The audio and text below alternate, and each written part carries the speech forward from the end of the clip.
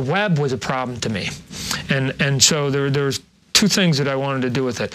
One, if you take a look at the way that had been done all the way up to the point that I came onto it, it was straight lines, like two or three straight lines, and then they put X's in it.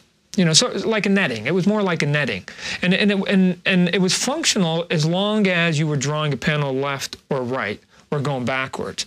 But where it never worked was if you wanted to shoot towards camera. And a couple guys tried it, and, and the line just got bigger, and the X's just got clunkier, and it just was like, are, are you kidding me? So I wanted to, I wanted to try and come up with something that could actually move, not only move towards camera, but you actually believe that it was webbing. And so, so Tom DeFalco, who's editor in chief, although he denies it, I was just talking to him recently, going, I never called it spaghetti webbing. He did it. He was, he's Italian, and, and he called me in his office one day because I got clarity on this one. We went, stop drawing that darn spaghetti webbing thing that you're doing. And I was like, yeah, that's it. I got a name for it. So it's actually a very good name because for people out there who aren't comic book fans, that's what it looks like now. So when he hits the button, it's almost like, remember when we were kids, we had the Play-Doh and you squeeze it and like little strands come out?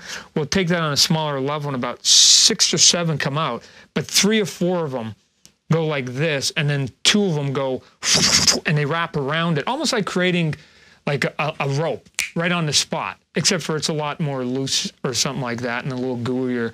And so what it allowed me to do now is that given that those strands were actually, I had to draw each one. I mean, if you take a look at some of my artwork, like the last thing I did on every page was to do those darn webbings.